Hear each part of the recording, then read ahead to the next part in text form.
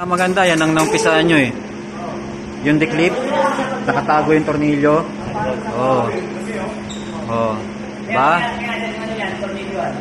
Kaya ingat kayo sa ano, sa mga ganyan ha, hindi basta-basta baklas. Mahirap yan, LG yan. Nagklik-clip yan, may mga clip. Konti lang tornilyo niyan.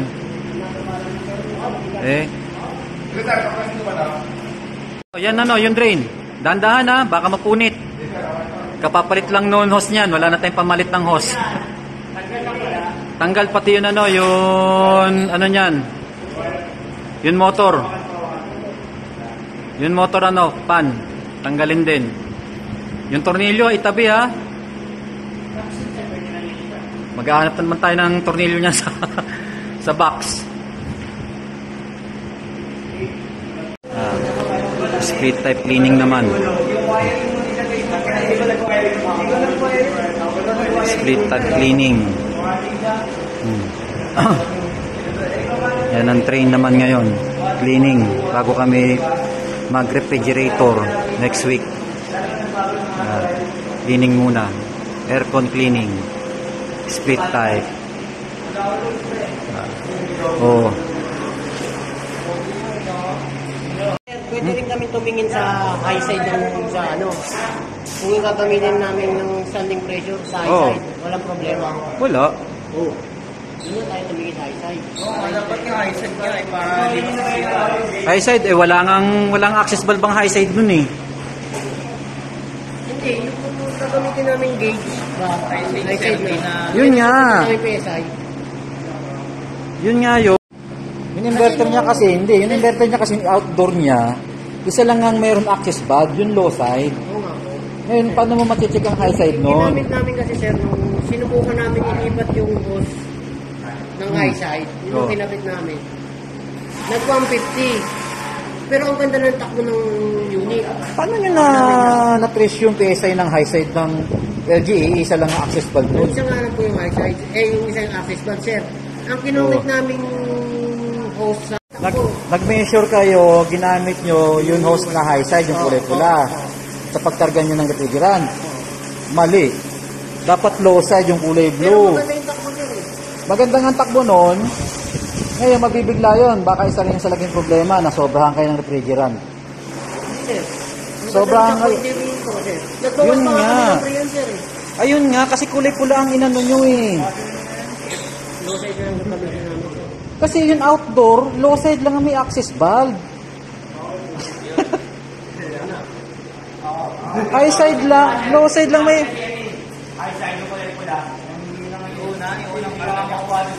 Hindi, ano bang ginamit yung bang gauge kahapon? High side o low side? Low side. O low side, saan yung... Kasi, o low side pala. Ano ba talaga? Low side o high side ang ginamit yung gauge? Yung sa low side kasi, bigla namamangatay nga po. Sinubukan namin sa high side. Siya pag ano sir, bigla siya papalo ng malakas. Ba? Yun nga. Kahit na gamitin nyo ang high side noon, may reading kayo, kung mamamatay din naman din ulit, ibig sabihin noon, hindi sobrang refrigerant. Yung supply nyo mali kasi umiinit yung wiring nyo eh. Kaya hindi kaya hindi kayo makakuha ng PSI sa sa gauge ng kulay blue ng low side kasi nga yung wiring nyo mali. Eh. Bumabaliktad kaya hindi umaangat yun yung gauge kasi nga yung rotation ng compressor nyo ayaw gumana. Ayaw Mali gumana. ang pag-ikot. Oh. Kasi alam nyo kung kung gumagana yon, Tapos na sir eh, yung gauge na yon, kung hindi mali ang wiring nyo, yung gauge na yon, magkukuro ng reading yung high side na gauge na ah, yung low side na gauge magkukuro ng reading yun. Aabante yun, aangat yun. Eh sabi nyo hindi umaangat. Sinubukan nyo yung gauge sa kulay pula, yung pang high side. Umangat. Over yun. Over PSI yun kasi kulay pula ginamit nyo. Eh pagdating nun sa blue, hindi umaangat. Ibig sabihin nun, hindi umaano yung compressor. Baliktad yung ikot nun. Kaya baliktad ang ikot nun, mali ang wiring nyo doon sa ano, sa labas. Jeffrey. Kasi umiinit yung wire. Kaya umiinit ang wire, mali pa rin ang connection ng wiring ng power supply nyo. Oh. Yan. Titiwala na ganito yan ha. Kailangan takpan nyo pa rin ng plastic yan. Yung ibabaw. Para hindi mabasa. Yung iba kasi, akala porket nakatakip, tapos yan yung board porket na meron, meron safe na varnish, akala safe na. Hindi safe yun. Takpan nyo pa rin yan ng, tu, ng, ano, ng, tu, ng plastic kasi mababasa pa rin yan. Kaya ingat tayo sa ano ng inverter. Oh, yung pan, close naman yan, close na close naman yan, kaya okay lang mabasa yan. Pero wag yung bababaran ng tubig. Mm. Spray talaga. Ah, baka mag-crack ah. Medyo mahirap lang talaga yung declip.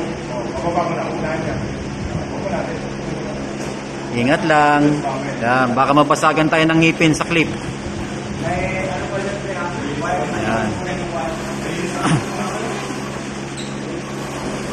Eh, dandaan lang ha.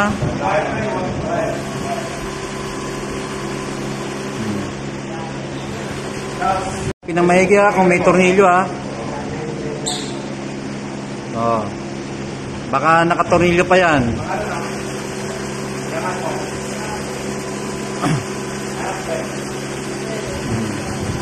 Baka may tornilyo pa ha.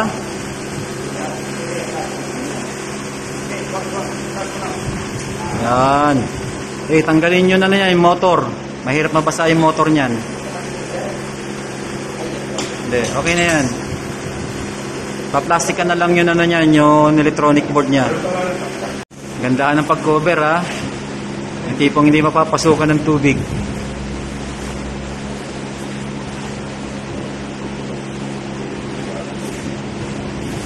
Tapos na tong isa. Yung isa naman. Eh. Ito naman isa.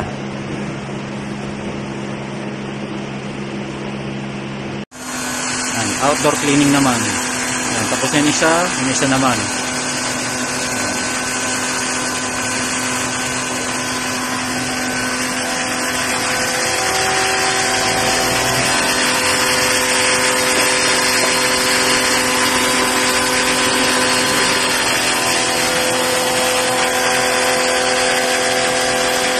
Window type, inverter. Inverter na window type yan. Yung nilinis yung kahapon, ganun din, inverter din yun eh.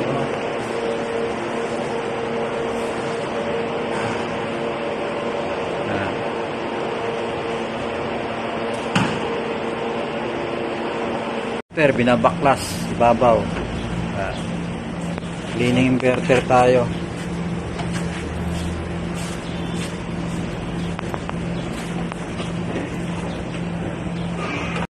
Oh, dumi oh. Dumi oh. Hindi, hindi na nalilinis.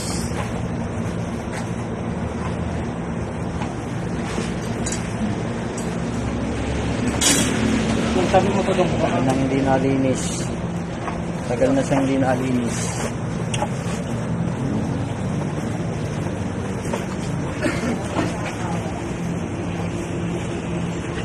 Ito tip dyan. So hindi mainit yung compressor, pwedeng basain. Pag mainit ang compressor, bawal basahin yung ibabaw. Okay lang yung sa ilalim. Sakinan lang din doon ng Oo. plastic sir. oh. Kung mainit, pwede na sa pinan ng plastic yan. Huwag lang babasahin yung ibabaw. Kasi may ano yan eh, may reaction sa langis yan eh. Yan ang di ano ng iba. Hindi masyado alam. Kaya pagka pagka i-on yan, lalo na inverter, pag in-on yan, nagkukuro ng error. Safety practice ko na lang dyan sir. Balutan mo na lang. Oh, balutan mo na lang pagka halimbawa mainit. Mas better na ano. Balutan mo na. Oh. Tapos yan, punasan mo na lang ng ano. Para hindi ka na ma... Oh, para hindi ka magkaroon ng error. Nagkukuro ng error yun eh. Kahit sa accumulator din sir. Hindi naman. Sa accumulator, Ganun din. Ganun din naman. Accumulator ito oh. Ito Hindi nga sir, accumulator. pag parehas lang sila ng ano. Pagka, kunwari, mainit yung accumulator. Hindi mo yung pwede basahin sir. Hmm, pwede rin naman. Ayun lang. Plastic na lang yan. Plastic na lang. Medyo ang daming koneksyon. Kapit mo na lang ito para di maghiwalay. Baka magkahiwalay. Grabe siya. Wala, sideway lang. Hindi, kahit isa lang muna para mag hindi lang magkahiwalay. Parang Hmm. ito sideway. Huwag lang tatamaan yan. Yan, inahatan lang natin. O, ito ingatan dyan yung board na huwag mabasa. Yan. Huwag lang mababasa yan. Wala tayong dalang ano eh. ah, vacuum. Kaya wala tayong pang patuyo Hmm. Wala tayong pagpatuyo. Ah, siguro... Basta huwag lang mabubutas yung plastic.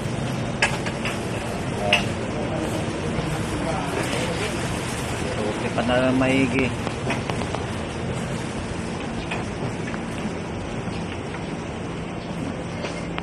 Set up.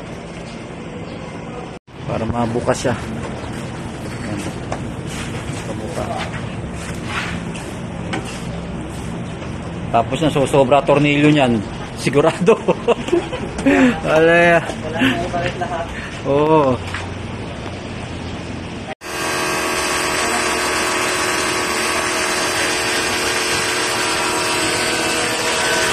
Lapit mo. Lapit mo na. Lapit mo. Tayo.